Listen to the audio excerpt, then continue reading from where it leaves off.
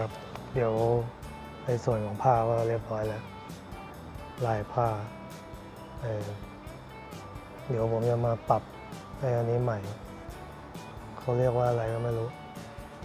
ไอตัวเข็มหัวเข็มขัดเนี่ยปรับใหม่ มันมันไม่สวย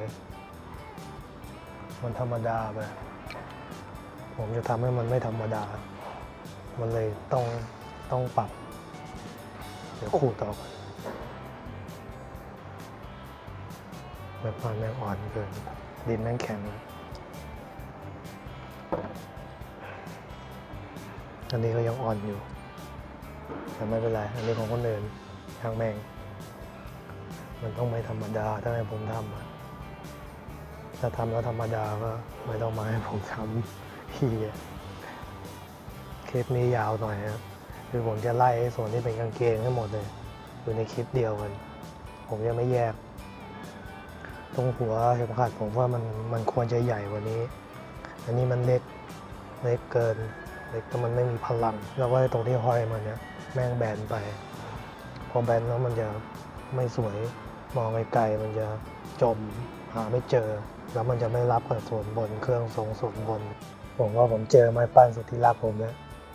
แม่งมาอยู่ในถังดินนี่เอง หาตั้งนานหาตั้งแต่ตอนแรก ไปดูใครที่ดูคลิปผมแรกๆที่ปั้นหัวสิงเนี่ยผมหาเนี่ยแหละไม่ปั้นมาอยู่นี่เองนี่มีโลโก้อยู่ปอปลาแต่มีรอยโคดๆตรงนี้นี่แม่งมีสัญลักษณ์ปอปลาอยู่ปอปลาเปิด แต่แม่งมีรอยโคดๆเหมือนรอยลบ แม่งไม้ป้านที่ใช้มานานเนี่ยหลายสิบปีแล้ว เก็บได้ตอนเรียนช่างศิลป์เฮีย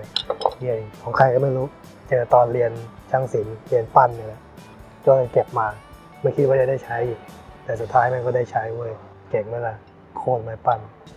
ไม้ปั้นเปิดศิลปินเปิดตีแตกเอ้ายังขัดผมว่ามันมันมันน่าจะใหญ่ ประมาณเนี้ยใหญ่เล็กไป คือมันมันมันมันไม่ใช่ใหญ่แบบกลมๆไงมันมันควรจะ ใหญ่แบบแผ่ไปข้างๆ ขึ้นเด่นขึ้นในลูกกระจับ แล้วก็แปะไป โอ้แจม